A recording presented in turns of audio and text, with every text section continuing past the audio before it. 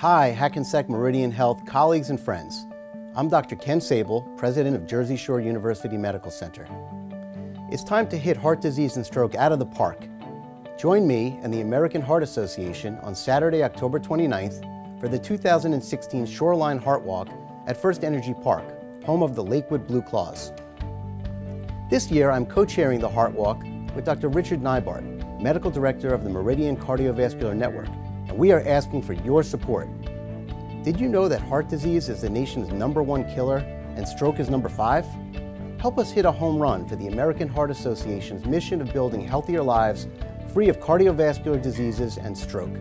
I encourage you to join the Shoreline Heart Walk as a fundraising walker. Everyone has a reason why they want to live a longer, stronger life. For me, family is why. We would like to challenge all walkers to add their personal why to their fundraising pages. Join us as we create a culture of health in our communities. You can join one of our Hackensack Meridian teams or register as an individual fundraising walker. Visit shorelineheartwalk.org for more information and to sign up.